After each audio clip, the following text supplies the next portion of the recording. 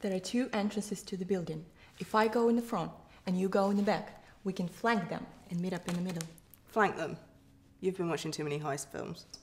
I'm just saying, if we can divide our forces, we have a better chance of coming home with a prize. Are you sure you want to do this? I mean, it's pretty crazy.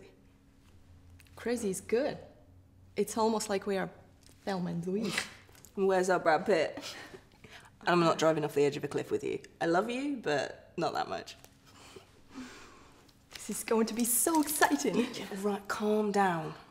We've still got to figure out how we can pull this off without getting caught. Well, the main tailor is right here.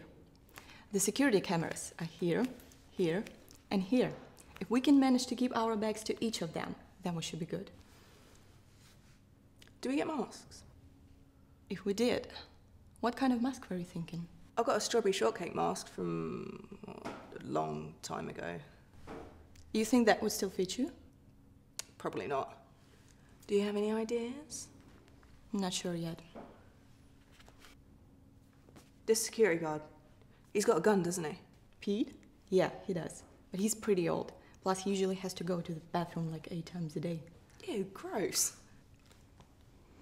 Well, I think we're all set. Now, all we have to do is wait until tomorrow night.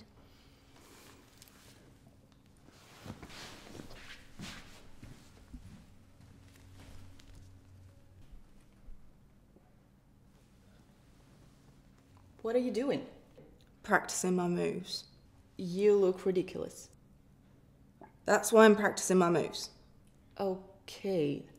Well, I'm going to run and look for some masks.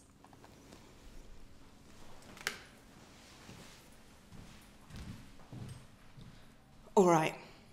Everybody stay calm.